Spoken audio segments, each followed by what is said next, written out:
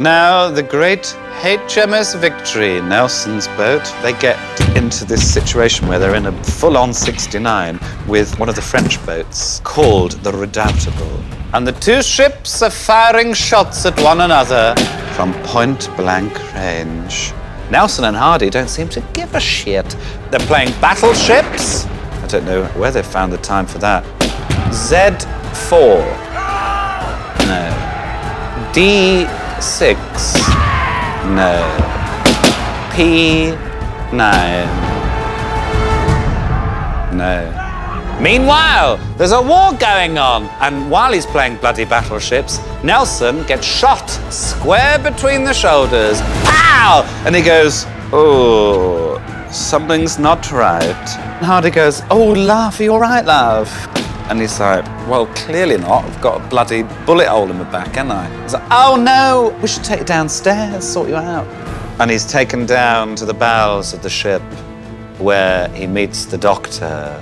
And the doctor says to him, Now, what's happened? And Nelson goes, So I was playing a game of battleships midway through a full on war. And for some reason, I've got shot in the back. And I think I might be going to die. And the doctor says, Oh, well, somebody's self diagnosed, haven't they? Let me have a look. Yeah, you're fucked.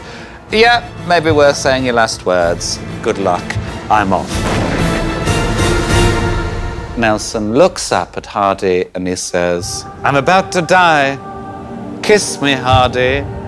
Hardy sort of cups his head in his hand, and Hardy leans in slowly and goes to kiss him on the lips. And he's like, Whoa! Fuck you doing? You gay? He's like, No, I'm not gay.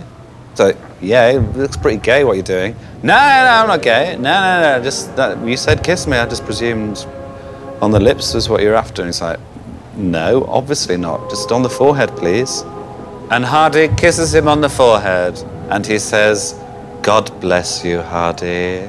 And he dies horribly in a lot of pain, which is visible on his face, which will be done very well by an actor.